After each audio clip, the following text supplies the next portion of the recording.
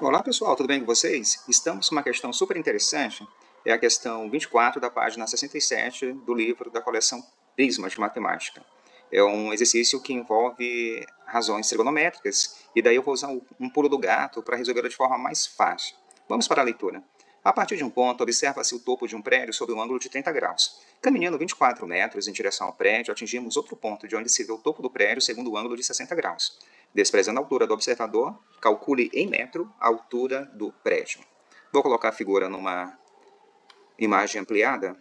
Pronto. Então aqui nós temos é, um observador, tá ok? Nesse ponto, ele observa o topo do prédio com um ângulo de 30 graus, ele se aproxima do prédio 24 metros e consegue ver o topo do prédio num ângulo de 60 graus. E a gente quer saber qual é a altura do prédio. Então, o pulo do gato é o seguinte, ó, esse ângulo bem aqui, ó, ele é o ângulo de, de meia volta, que vale 180 graus.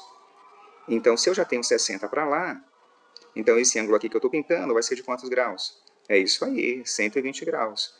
Agora, observando esse triângulo aqui, ó, ele tem um ângulo de 120, outro de 30, a soma dá 150, a soma dos ângulos internos de um triângulo é sempre 180. Logo, eu concluo que esse aqui ó, é de 30 graus. Ó, 120 mais 30, 150, mais 30, 180. E eu chego a uma outra conclusão, que esse triângulo é um triângulo isósceles. Ó. Esse, esse ângulo aqui é de 30 graus e esse é de 30 graus. Logo, esses lados aqui, ó, que acompanham o ângulo, eles têm a mesma medida. Então, se esse ângulo, se esse lado é 24, esse aqui também vai ser 24 metros. Agora, pessoal, ficou super fácil. Nesse triângulo menor, eu tenho um ângulo de 60 graus, tenho um ângulo reto. E qual a razão trigonométrica eu vou utilizar para encontrar essa altura? É simples.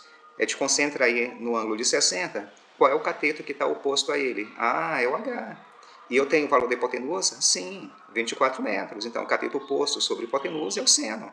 Então, vamos lá? Seno de 60 graus é igual cateto oposto sobre a hipotenusa. Quem é o seno de 60? Raiz de 3 sobre 2. Está lá na tabela dos ângulos notáveis. O cateto oposto é a altura, que eu quero saber, e essa altura, e esse H aqui não é altura, e sim é a hipotenusa, que vale 24. E agora basta eu multiplicar cruzado, simples assim. Daí eu coloco encontrar a resposta. Vai ficar 2 vezes H é igual a 24 vezes raiz de 3. Esse 2 está multiplicando, vai passar para o segundo membro dividindo. 24 raiz de 3 dividido por 2. E a nossa resposta vai ser 24 dividido por 2. Vai dar 12 raiz de 3 metros. Essa é a altura do prédio. Valeu? Vem com o federal e tudo vai ficar legal.